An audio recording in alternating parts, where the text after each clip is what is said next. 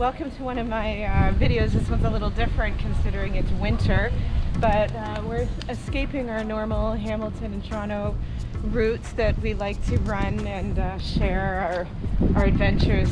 Um, and uh, we needed a break, so we came to Montego Bay, Jamaica, found a um, a direct flight from Hamilton, which was nice. Hamilton's a smaller airport No, we're good- no, we're good, thank you. And uh, yeah, so I'll share a little bit in the video about what we're what we're up to. But we're um, we're staying in a place called Freeport. It's a peninsula that um, is about maybe five ten minutes away from what they call Hip Strip. no thanks. Oh, we're just going over here. Only two minutes. Beach Why the club. be- why the Beach beach? club. Yeah. Oh, yeah. No, We're good, thank thanks. so, um, if you can actually, if you see around this area, it is a community um, versus a hotels um, on this side. And what's interesting is that this part of Freeport um, was here prior to any of the hotels, which are in this direction, right over here. Um, and at some point, the area over here, which is the beach, was accessible for people that live here. And the hotels took it over. So the community had to hire lawyers, and you know, they just just seems like a very common story in many cities because they had no access to the beach. Eventually, they did win, and they have one area that they can go through to get to the beach. Um, they call it a beach club. Um, what was it? It was a um, like a hard rock cafe not that long ago, and um, so we're headed there to enjoy this beach, and then and then uh, but if you actually look on this side right like around all over here these are hotels You want to cross over? here? that were we think maybe open right at the when the pandemic started and then shut down so where we're going is completely shut down um, there's nobody here it's just I, I would suspect it's just going to be us and whatever uh, area what other people in this residential area brad was reading up on it and this area was once islands right and that they connected the islands to create this peninsula Mhm. um, so literally, we're at the very end of this peninsula. There's nowhere to go but this way and off. And um, downfalls. There's no, there's no stores. There's no supermarkets.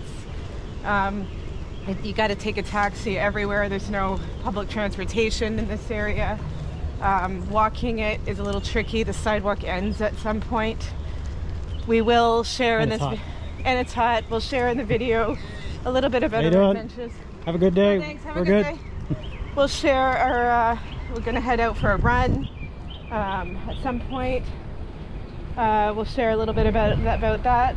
So, yeah, not that long, but uh, it should be a fun break and enjoying this seriously blue skies. And we'll be back in no time to enjoy the winter.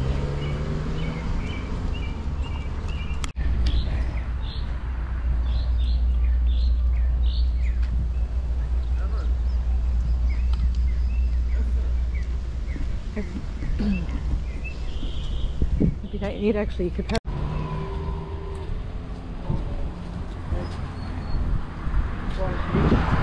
We're heading to the beach through this beach club. Oh, what's her name? Zoe and Brad from uh, Soleil. Brad? Yeah. Alright. Okay. Thank you. So this is a the beach club where the residents in the area have access to the beach. As I said, uh, these are seem to be common stories, and a lot of places um, just take over. Here we go. Looks like it would have been nice on point, or even now. Still nice, yeah.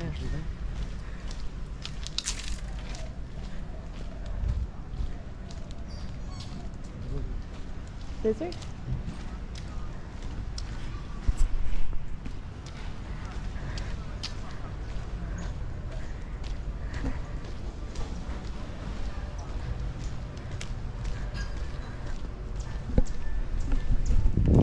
It's so quiet.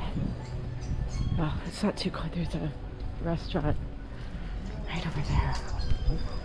Nothing.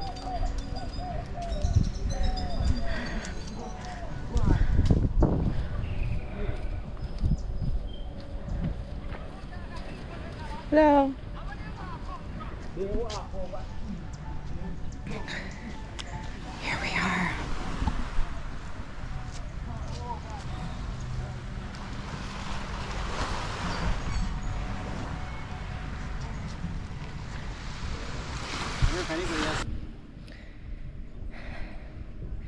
So we're staying on this peninsula called Freeport, and then uh, we're on right now the um, ocean side, Caribbean side, uh, where our building is. It's on sort of the bay side where the cruise ships come in. So we walk across the street, and as part of the community on Freeport, they do have ac- public access in, from some uh, of the resorts uh, because, for obvious reasons, um, you can't resorts corporations can't take up every single possible public space. I mean, they do, but anyways, so I guess normally they can access the beach through a couple of the resort areas um, as part of the agreement for condos. So interesting and sad and sort of dispo- dis- I would almost say it's it feels very dystopian. Um, and it just reminds us of how much this pandemic has impacted our uh, tourist industry in places that really depend on tourism. So the place that we're at is, um, don't think it was a full resort. It was more of a beach club, and so um, beside it is a resort, um, and of course beside it on the other side is also a resort. But this so this beach club, um, and then the resorts beside it. Um, have all closed down. So I just want to show you a little bit about you know what it looks like when you know you see what once was and then what it is now. So I'm gonna just turn my camera. I can see here. So this was, this is all boarded up. You get the idea. Completely boarded up. I'll show a picture. There's a picture online of the actual, what it actually looks like. Um, it was, it was apparently open, not like I think it was almost last summer, maybe the summer before. Um, it reopened after the pandemic, but they just couldn't survive with no tourists here, uh, with just the community. So it's all boarded up, and inside, um, on the other side of this fence, is a big pool. Here, I'll show you. So, like, here's the lifeguard seat, um, giant pool. So it was a, like a club in here, I believe. And then, ow, I think I just stepped on glass or something. Oh, shell. Uh, I wish I, there was a hole in this fence to show you. Um, there might be somewhere I could peek through. but I don't think there is. It's very fenced. So you get the idea that everything is just fenced off. And so we clearly have this entire section to ourselves. There's not a single other person here except for just us. Um, and then right next door is another resort. Um, those two big buildings completely empty now. You can see there's curtains and you know chairs and patio furniture, all of that kind of stuff, but it's just completely shut down since the uh, pandemic hit this area. This area, um, since the pandemic hit, I mean, this area has, uh, you can see, has suffered dramatic loss.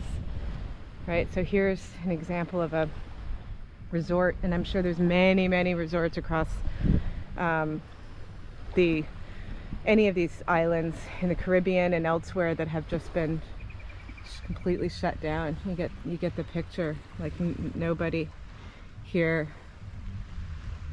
I don't know if anyone ever had a chance to stay here. So,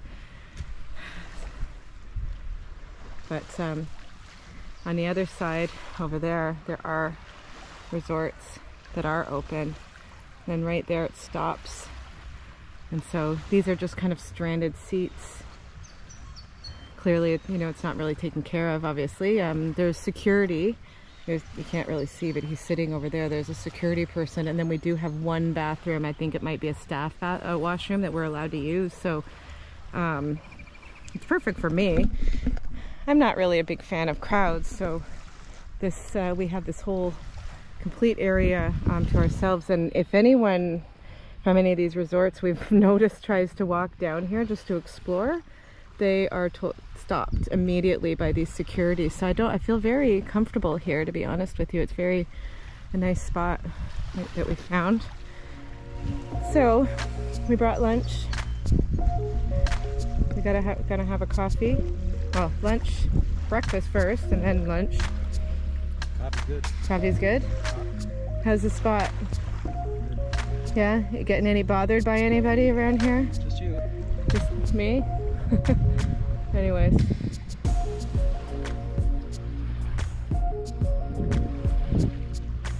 Very quiet around here.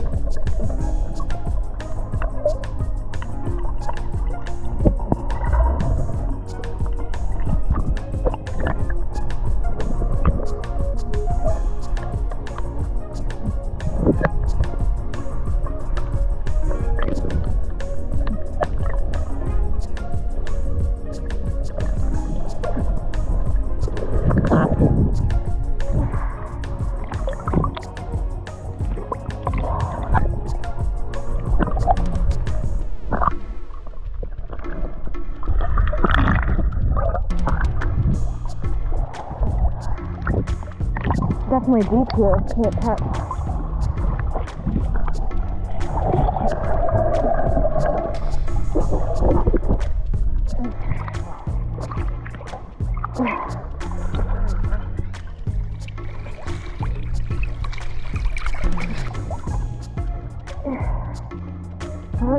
Example of what the resort looks like. Completely empty.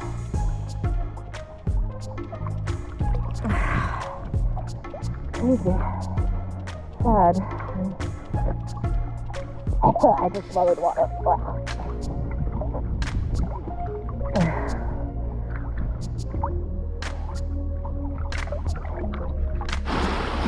One of my favorite things to do, um, no matter where I am in the world, is